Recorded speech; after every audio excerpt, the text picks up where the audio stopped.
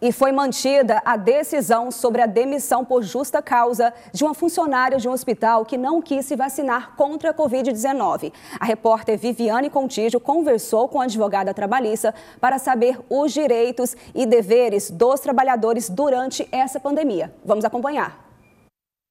Pela primeira vez, a Justiça confirmou a demissão por justa causa de um empregado que se recusou a tomar a vacina contra a Covid-19. A decisão é do Tribunal Regional do Trabalho de São Paulo e atinge uma auxiliar de limpeza hospitalar que optou por não se imunizar.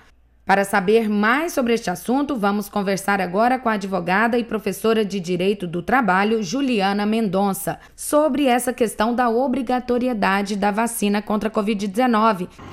Segundo a Lei 13979, editada em 2020, a vacinação ela é uma das medidas de emergência de saúde pública que pode ser feita de forma obrigatória. A vacinação ela é presente, ela foi estudada e milhares de pessoas já vacinaram e estão muito bem.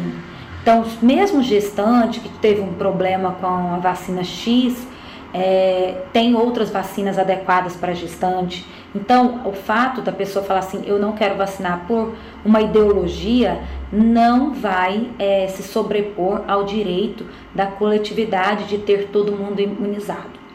Quais são os principais direitos e deveres de patrões e empregados em relação à Covid-19? O empregado, quando ele vai trabalhar, ele, o empregador ele é obrigado a dar todas as condições de saúde para que aquele trabalhador não venha a adoecer, a, a se contaminar. Todas essas circunstâncias é, de uso obrigatório para a transmissão da doença, o empregador tem que fornecer. E é obrigação do empregado utilizar o álcool em gel, não fazer aglomeração no ambiente de trabalho, é, respeitar as regras de segurança e higiene do trabalho. Isso por si só já geraria uma penalidade. O empregador poderia gerar uma penalidade nesse empregado. O empregado que é dispensado por justa causa, ele não vai ter direito ao aviso prévio, ele não vai ter direito à multa de 40% do FGTS ele vai é, ter apenas saldo de salário e as verbas integrais. É com vocês no estúdio.